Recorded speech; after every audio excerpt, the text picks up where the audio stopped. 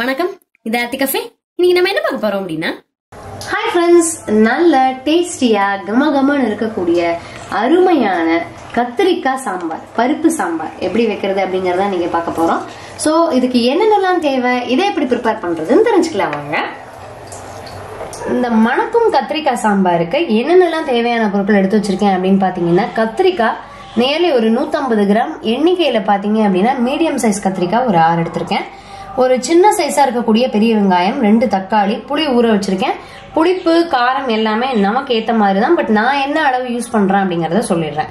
இப்போ வந்து சாம்பார் பொடி பாத்தீங்க அப்படின்னா கிட்டத்தட்ட ஒரு அஞ்சரை டீஸ்பூன் அளவுக்கு எடுத்திருக்கேன்.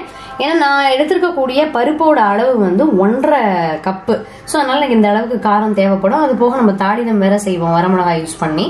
ஒரு அரை டீஸ்பூன் அளவுக்கு மஞ்சள் பொடி ஏன்னா பருப்புலேயே மஞ்சள் பொடி போட்டு தான் வேக வச்சிருக்கேன். இது வந்து ஒரு ரெண்டு டீஸ்பூன் அளவுக்கு வர கொத்தமல்லி பொடி. தக்காளி வந்து நல்ல பழுத்த நாட்டு தக்காளியாக இருந்தது அப்படின்னா அதுவும் கொஞ்சம் புளிப்பு கொடுக்கும். அந்த மாதிரி தக்காளி தான் எடுத்திருக்கேன்.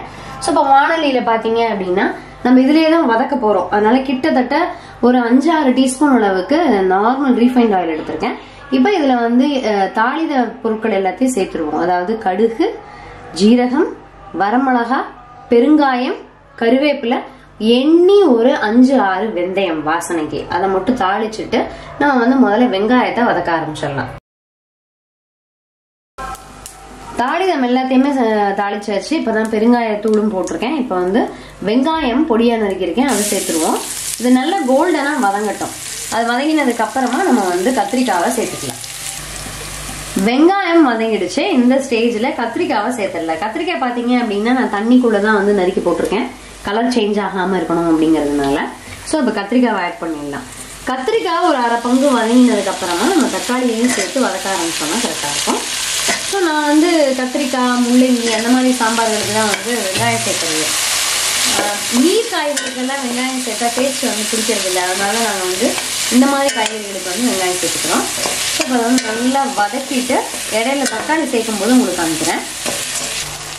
கத்திரிக்காய் ஓரளவு வதங்கினதுக்கு அப்புறமா தக்காளி சேர்த்தாச்சு. ஸோ தக்காளி வந்து இப்போ இருக்கக்கூடிய தக்காளிகள் கொஞ்சம் அந்த தண்ணி விட்டால் தான் அட்லீஸ்ட் கொஞ்சமாவது வேகுது. ஸோ இப்போ இதில் கூட வந்து கொஞ்சம் ஒரு அரை டம்ளர் அளவுக்கு நம்ம தண்ணி சேர்த்துக்கலாம். தண்ணி சேர்த்துட்டு இப்போ சாம்பார் பொடி அதெல்லாம் வச்சுருக்கோம் இல்லையா? அதெல்லாம் வந்து இதில் ஆட் பண்ணிடலாம். இப்போ தண்ணி இப்போ தான் சேர்த்துருக்கோம். அதனால் அது கொதிக்க ஆரம்பிக்கல. இந்த ஸ்டேஜில் சாம்பார் பொடி கொத்தமல்லி பொடி அதே மாதிரி மஞ்சள் பொடி எல்லாத்தையும் சேர்த்துருவோம். ஆட் பண்ணிவிட்டு ஒரு லைட்டாக ஒரு கொதி வந்ததுக்கப்புறமா புளித்தண்ணியே புளி தண்ணியை விட்டுக்கலாம். ஸோ இது வந்து உப்பும் நம்ம வந்து ஆட் பண்ணிக்கலாம் அதில். தண்ணி சேர்த்து கிட்டத்தட்ட அந்த மிளகாப்பொடி மஞ்சள் பொடியெல்லாம் எல்லாம் சேர்த்து ஒரு நாலு நிமிஷம் கொதிச்சாச்சு. இப்போ வந்து நான் புளி தண்ணியை வடிச்சு ரெடியாக எடுத்து வச்சிருக்கேன். அளவு எவ்வளோ அப்படின்னு பார்த்தீங்கன்னா புளி தண்ணிக்கு ஒரு நல்ல பெரிய நெல்லிக்காவை அழுத்தமாக பெரிய நெல்லிக்காய் சைஸ்க்கு அழுத்தமாக ஒரு புளியை ஊற வச்சு அதுலேருந்து கிட்டத்தட்ட ஒரு ஒரு டம்ளர் அளவுக்கு தண்ணி விட்டு அதை கரைச்சி எடுத்திருக்கேன். அதை வந்து இப்போ சேர்த்துருவோம். சேர்த்துட்டு புளி தண்ணி வந்து பச்சை வாசனை போக ஒரு நல்ல ஒரு அஞ்சாறு நிமிஷம் வந்து கொதிக்கட்டும். சைடில் பார்த்தீங்க அப்படின்னா வந்து பருப்பு வெந்து ரெடியாக இருக்குது நல்லா கலக்கி விட்டு அப்படியே வந்து அடியோடு சேர்த்து நல்லா கலக்கி இந்த புளித்தண்ணியினுடைய பச்சை வாசனை போக கொதிச்சதுக்கப்புறம் இதை வந்து நம்ம ஆட் பண்ணிக்கலாம். தேவையான அளவுக்கு உப்பு. உப்பு பொறுத்த வரைக்கும் எப்போ வேணாலும் ஆட் பண்ணிக்கலாம் நம்ம. ஸோ உங்கள் டேஸ்ட்டுக்கு ஏற்ற மாதிரி நீங்கள் உப்பு ஆட் பண்ணிக்கோங்க. புளி தண்ணி நல்லா பச்சை வாசனை போக அஞ்சு நிமிஷம் கொதிக்க வச்சாச்சு. இப்போ வந்து நல்லா பருப்பு வந்து பார்த்தீங்க அப்படின்னா அடியோட கடவி அதில் ஒரு கால் டம்ளர் அரை டம்ளர் அளவுக்கு தண்ணி விட்டு வச்சுருக்கேன். இப்போ பருப்பை வந்து நம்ம இந்த சாம்பாரில் ஆட் பண்ணிடலாம். கொதிச்சிட்டு இருக்கக்கூடிய காய்கறியில் ஆட் பண்ணிடுவோம். எப்படியா இருந்தாலும் திருப்பி நீங்கள் வந்து மத்தியானம்லாம் பார்க்கும்போது உங்களுக்கு பயங்கரமாக கெட்டி தட்டிடும். ஸோ கிட்டத்தட்ட வந்து இதில் ஒரு ரெண்டு டம்ளர் அளவுக்காவது நம்ம தண்ணி விடலாம். தண்ணி விட்டுட்டு உப்பு மட்டும் தான் தேவையா இருக்கும். ஏன்னா இந்த குவான்டிட்டிக்கு ஏத்த அளவு தான் நான் வந்து சாம்பார் பொடியெல்லாம் சேர்த்துருக்கேன். ஸோ உப்போடைய அளவு மட்டும்தான் மாறும். மற்றபடி வேற எதுவும் மாறாது. எல்லாமே. ஏன்னா எவ்வளோ குவான்டிட்டி வரும் எவ்வளோ அளவுக்கு நமக்கு தேவைப்படும் அப்படிங்கறது எல்லாத்தையுமே நம்ம ரெடி பண்ணி தான் வச்சிருக்கோம். ஸோ அதனால இப்போ தேவையான அளவுக்கு உப்பை மட்டும் சேர்த்துக்கலாம். ஸோ இப்போ தேவையான அளவுக்கு தண்ணி சேர்த்தாச்சு. பருப்பு பார்த்தீங்க அப்படின்னா நல்லா வெந்து சூப்பராக அதாவது உங்களுக்கு குழ குழப்பு தன்மையும் இருக்கக்கூடாது. அப்படியே முழுசா பருப்பு பருப்பாகவும் இருக்கக்கூடாது. அப்போ அந்த மாதிரி இருந்தால் தான் சாம்பார் வந்து நல்லா டேஸ்ட்டாக இருக்கும்.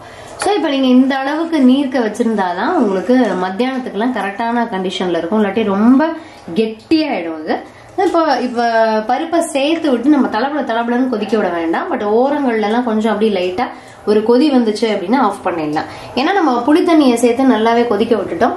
புளி தண்ணி வந்து நல்லா கொதிச்சிருச்சு அப்படின்னா சாம்பாரும் வந்து நல்லாவே டேஸ்டா இருக்கும். அவ்வளோ சீக்கிரத்தில் எதுவுமே ஆகவும் ஆகாது. ஸோ ஒரு லைட்டாக ஒரு கொதி வந்ததுக்கப்புறமா அதை ஆஃப் பண்ணிடலாம்.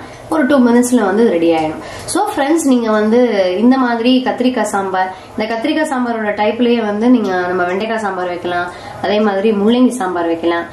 அந்த மாதிரிலாம் வைக்கும்போது உங்களுக்கு டேஸ்ட் நல்லா இருக்கும் செஞ்சு ட்ரை பண்ணி பாருங்க. இது கூட நம்ம என்னதான் சாம்பார் பொடியில கொத்தமல்லி சேர்த்திருந்தாலும் தனியா கொத்தமல்லி பொடி சேர்க்கும் போது நல்லா டேஸ்டா தான் இருக்கும். ட்ரை பண்ணி பார்த்துட்டு எப்படி இருந்ததுன்னு சொல்லுங்க. இன்னும் ஒரு நல்ல அருமையான வீடியோல சந்திக்கலாம். தேங்க்யூ